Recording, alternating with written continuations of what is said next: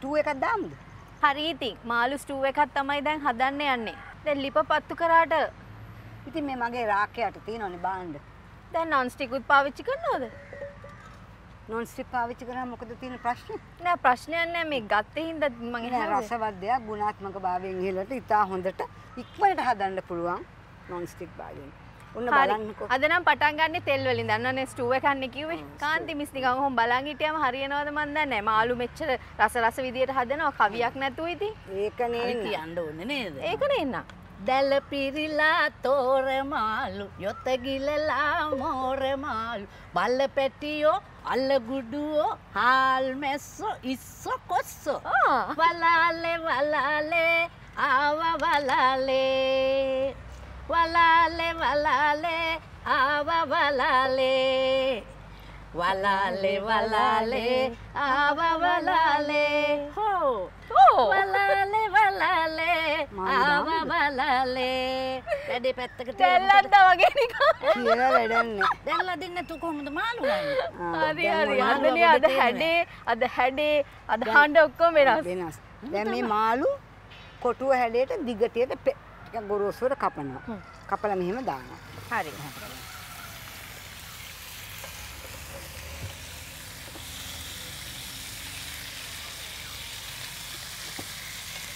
කොහොම ටිකක් බැදෙන්න අරිනවද? ඔව් චුට්ටක් බැදෙන්න අරින්න ඕනේ. ටිකක් නෙමෙයි හොඳට බැදෙන්න අරින්න ඕනේ. ගොඩාක්ම මේක මේ වාජනීය රස්නෙන් තමයි බැදෙන්නේ. දැන් තේරෙනවනේ stick එකක් ඇයි පාවිච්චි කරන්න කියලා නේද? මේක පිළිවෙලකට කරගන්න ඕනේ මාළු ටික කැඩෙන්නේ නැති වෙන්න නේද? ඔව් ඒ විදිහට තියෙන්න. එතකොට මේ ස්ටූ එකක් කවුරු හරි ගෙදරට ආ වෙලාවක හ්ම්. හරි ඉක්මනට හදලා දෙන්න පුළුවන්. මාළු කපලා සෝදලා එහෙම පිළිවෙලට තියාගෙන ඉන්න කෙනෙක්ට හරි ලේසි නේද? දැන් මම මේ ඔක්කොම ලෑස්ති කරගෙන ඉන්නේ මේ ලූණු කප් මේව කරලා අවුනුලි සෝදලා සුද්ධ කරලා නෙමෙයි දැන් මෙතෙන්ට ගෙනල්ලා තියෙන්නේ. දැන් මේ ලුණු ටිකක් ලොකුවට කපා ගන්න නේ නිකන්. කෑලි. කෑලි හිටින්න කපනවා. ආහා.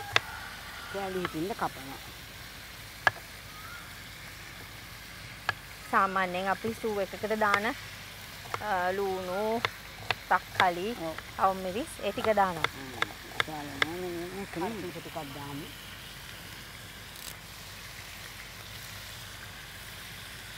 මේ රසය දැන් මේක හරි ලේසි ක්‍රම. හ්ම්.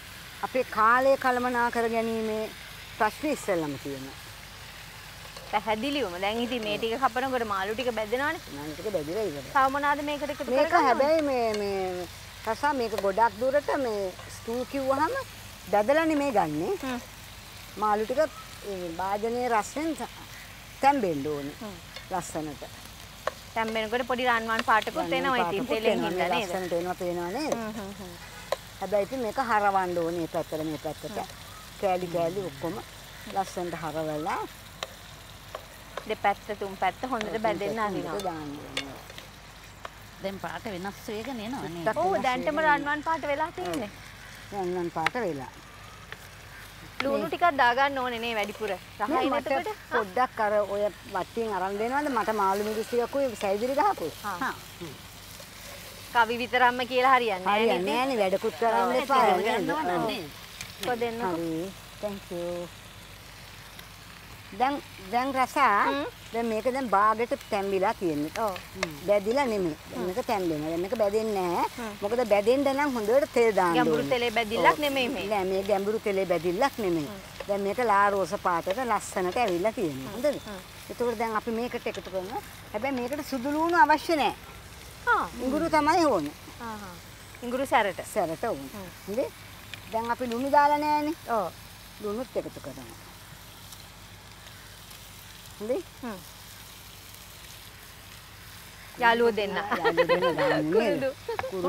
අයිලේ ඕකටත් තයිලේ රසයි. ඇත්තට ඉතින් කුරුදු කියන්නේ හොඳ බෙහෙතක් නේ. නැත්තම් උළුහල් පොඩ්ඩකුත් දානවා. ඔව් දෙකම. දෙකම දානවා. ඔය කෙට්ටු වෙන්න කැමති අය එහෙම ගොඩක් පාවිච්චි කරනවානේ ඒවා. උළුහල් උළුහල් නේද? ඔව්. එතකොට දැන් අපි. මේ කපාගත්ත ලූණු තියෙනවනේ. ලූණු ටික තව පොඩ්ඩක් තියෙන්න ඕනේ. සුවඳයි සුවඳයි. සුවඳයි හොඳ සුවඳයි නේද? මාළුත් මතක් කරලා ගන්න ඕනේ බලලා තලපත් මාළු වගේම තමයි හරියන්නේ. ඕ. ඒ කියන්නේ රතු පාට එක නෙමෙයි සුදු පාට එක. සුදු පාට එක ගන්න ඕනේ. දැන් මේකට අපි එකතු කරනවා. මේ මාළු ලූණු ටික. ඔන්න මං මේකත් හොදලා දුන්නා. ඔව්. ඊළඟට අපි ගම්බිරිස් කුඩු ටිකක්. දානවා. මාළු ස්ටූ එකට දාන්නේ ගම්බිරිස් කුඩු රසා. වෙනේව දාන්නේ. චූට්ටක් කෑලි මිරිස් ලස්සන වෙන්න. පාට ලස්සන වෙන්න චූට්ටක් කෑලි මිරිස්. ඊළඟට අපි මාළු මිරිස් ටිකක් දැම්මම රසයි ලස්සනයි ලොකුවට කපලා. ලොකුවට කපලා දානවා. සැල්දිරි එක එක ඉත්තක් ඇතිද? ඔය එක ඉත්තයිනේ තියෙන එකෙන් භාගයක් දාමු වැඩි නැත්නම් ඔක්කොම. ඒ කියන්නේ මේ ලොකු එකම මේකෙන් තව එකක් තව එකක්? ඔව්.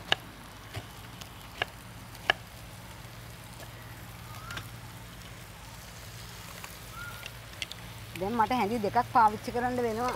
කලවම් කරගන්න. ඔව් නැත්නම් බෑනේ. දැන් ඔයාට මේකේ අඩුවක් පේන්නේ නැද්ද රස? පාට. පාට. ඕක නිකන් රතු පාට, නිකන් ගෝල්ඩන් බ්‍රවුන්. අන්න ඒ වගේ වර්ණයක් ආවනම් ඉතින් හොඳයි කියලා හිතෙනවා. වුණාට උන්න කහ ටිකක් දැම්මේ නෑනේ, ඒකනේ. නෑනේ අපි. වෙන්දට ඉස්සෙල්ලම දාන එක. ඔව් ඒක දැම්මෙත් නෑ. හරි. දැන් කහ ටිකකුත් දැම්මා. තවත් මොනවා හරි දාන්න ඕනේ වගේ. ඔව් තව තියනවා දාන්න. තව තක්කාලි. තක්කාලි ගෙඩියක් ගන්න. ආ ආ. ඇතිද මේක? ඇති. සුදු ලුණු දාන්න නෑ කිව්වනේ නේද? සුදු ලුණු අවශ්‍ය නෑ. හ්ම්. හොඳට ඉඟුරු දැම්මහම ඇති. ඊළඟට සැරිදිරි ගස් දෙකක් කපලා බොහොම පොඩියට හා. කොලයි දඬුයි ඔක්කොමත් එක්ක ඔක්කොම එකට කපලා දැන් සුවඳ එනවා සුවඳත් එනවා සැරකුත් එනවනේ. රොස්පන් ගෙඩියක් ගෙනත් දෙන්න. ගෙදර හදපුවා තියෙනවා තාම. මේ ඔය? ඉඟි දෙන්නේ. ඉඟි දෙන්නේ. මාළු- ගෙදර හැදුවාම හරි රහයි. මාළු ස්ටූ එකකට අර හොදි ගතිය තියෙනවට වඩා. මේ විදිහට තියෙනකොට තමයි ගොඩක් රසය තියෙන්නේ. මාළු ටිකක් බැදෙනවා ටික ටික ටික ටික නේ නිකන්. දැන් අපි මේකට දාමු ඔය මොනවාද? Soya sauce. ඔන්න එනවා දැන් පාට වෙවි අපි කිව්වනේ අද ටිකක් අලුත් විදිහකට කියලා හදන්නේ. අලුත් අලුත් දේවල්. එතකොට මේ තියෙන්නේ තක්කාලි සෝස්. ඒ මහා ගොඩක් නෙමෙයි කියන්නේ. ටිකක් දාන්න. වැඩි දාන්නේ නෑ.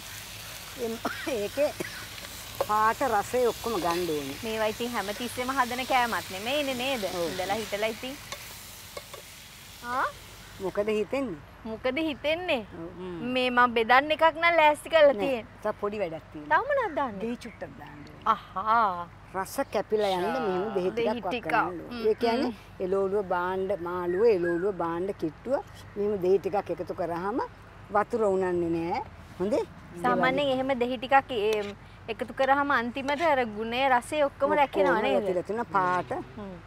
දැන් මොකද රස බලමුද?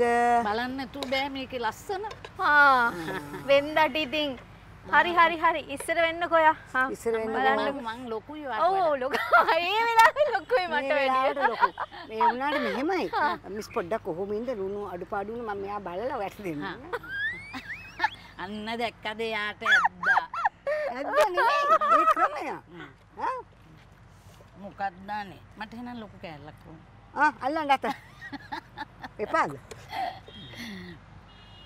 ඇත්තටම ඇත්තටම පුදුමාකාර රසක් ඒකන. ගන්න කොයි භාජනය ගන්නකො. සුදු බත්, කහ බත් මොනවද මොනවද කියන්නේ? කහ බතක්. දුන් තෙල් බතක්. වගේ දෙයක් හරිම රසයි කනකොට කුකුල් මස් මෝලේ නෑ. හ්ම්. මේ වගේ මාළු ස්ටූ එකයි. අල කිරි හොද්දයි සම්බෝලිකුයි. පපඩා පපඩනුත් තෙල් වැඩිනේ යන්නේ. පපඩනුත් එපා. නාඩ බේරලානේ ගන්නේ. හරි එහෙමනම් ඉතින් මේ වගේ රස කෑම තියාගෙන වැඩි වෙලා කතා කර කර ඉන්න බෑ. මොකද කහබතුකුයි. අලකිරි හොද්දකුයි විතරයි නෝනයි කියන්නේ. ඒ නිසා අපි ප්‍රවීණ සූපවේදිනී ලක්ෂ්මී ලොරෙන්ස් වේවා මහත්මියට අපේ ආදරණීය අම්මට බොහොම ස්තුතියි කියමින් ඒ වගේම කාන්ති මිස්ගේ රස කවියටත් ස්තුතියි කියමින් මේකත් අරගෙන මම යන්නම් අර පැත්තට. ඕක තියලා ඔයා ඕන තැනක යන්න. මාළු ඉස්ටු අවශ්‍ය ද්‍රව්‍ය කොටු කපාගත් ලොකු මාළු ග්‍රෑම් 500ක් බීලූණු ග්‍රෑම් 200ක් මාළු මිරිස් ග්‍රෑම් 100ක් තක්කලි ග්‍රෑම් 100ක් අමු මිරිස් කරල් 4ක් ඉඟුරු සුදුලූුණු ග්‍රෑම් දහය බැගින් රම්පෙ කරපිංච කැබලි මිරිස් ග්‍රෑම් දහයත් ගම්මිරිස් ග්‍රෑම් පහක් කහ ග්‍රෑම් පහක් තෙල්කෝප භාගයක් ලුණු රසපදමට